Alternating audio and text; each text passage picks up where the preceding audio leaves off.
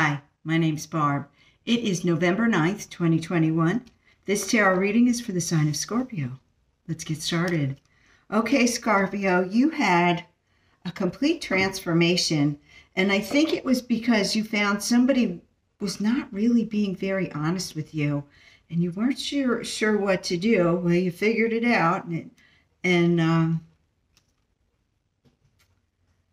I think I think rather than um, going the low road, you went the high road and let people see what there was to see rather than trash talking.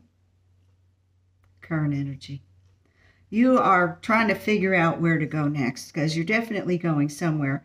There's a, a, a new financial beginning in the offer, and and you have the wherewithal to do that you are you are very grounded and and you are going to take this opportunity and run with it going forward. I see the wheel of fortune. So it looks like your luck is turning around. You know your worth. You are taking time to spend time with people who matter. And even though sometimes you feel trapped, you know you're on the right track. I hope this is helpful. Please like, comment, and subscribe. We'll do it again next week.